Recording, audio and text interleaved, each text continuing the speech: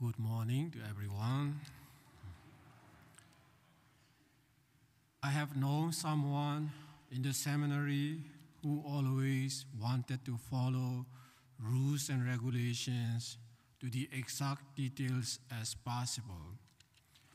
Once we were in a computer room trying to finish our school assignment at the last minute, our director came and gave us a delicious cake while telling us not to keep it long, but to consume it right away since the expiration date was getting near. When we checked the date of expiration, true enough, it was on that day the cake would expire. We ate some while working on our papers at that night.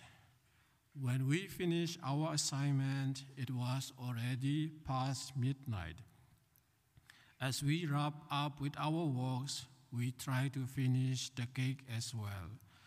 So I offered the last piece of cake to my friend, but he refused to eat it because, according to him, it was expired at midnight according to the expiration date. It was strange to see that friend enjoying the cake an hour earlier, but refused to eat it after midnight. But I admired his strict way of following rules and regulations to the exact detail as possible. I could sense that it was not due to the fear of getting poisoned, but it was more on holding his principle of what is right and wrong. During the season of Lent, I'm sure he's the kind of person who would wait till midnight on Friday to eat meat food products if we wishes to do so. These are the people who are very disciplined in every aspect of life and take everything quite seriously. With that kind of discipline, they would be able to reap a lot of benefits out of their labors in many aspects of their lives. We are almost halfway through in the season of Lent. I'm sure many of us are progressing in the process of disciplining ourselves in prayer, fasting, and almsgiving. By looking at the good things we have accomplished in the past three weeks, we may draw some satisfactions and inspirations to continue with the good works we have begun. We take pride of what we can accomplish in life. On the other hand, though many of us started the season of Lent with much enthusiasm and excitement, some of us are facing the reality of not able to keep the promises we made for the season of Lent. It is the fact that some of us did not even last a few days or we failed miserably in our attempts to reform our lives.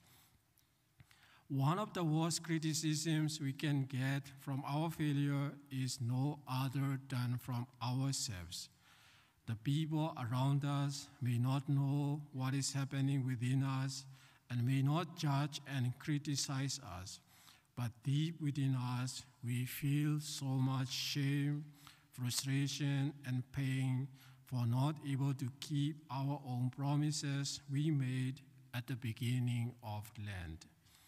Today's gospel reading about the Samaritan woman would give us an encouragement to rise up again if ever we fell short of the expectations. The Samaritan woman was a total failure in the eyes of society, especially from a perspective of moral standing. But our Lord did not condemn her, but accepted her as she was with all her shortcomings. I'm sure the acceptance of Jesus would give the Samaritan woman to have a chance of self reflection, as well as a spark of willingness in her to transform herself. We can see here the compassion of Jesus he has for the people, even to the extent of risking himself being accused of breaking rules and regulations established by society.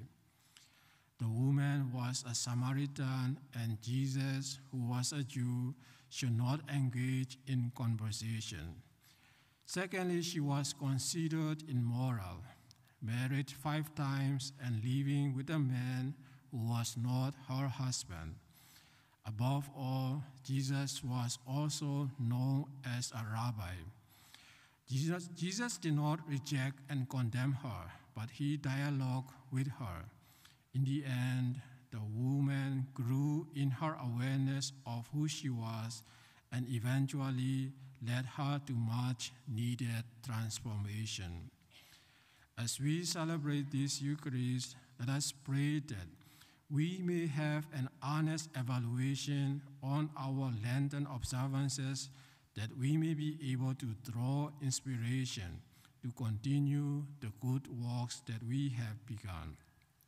At the same time, we may have more compassion on ourselves and others when facing failure, that we may draw enough strength to begin again in the process of transforming ourselves according to the will of God.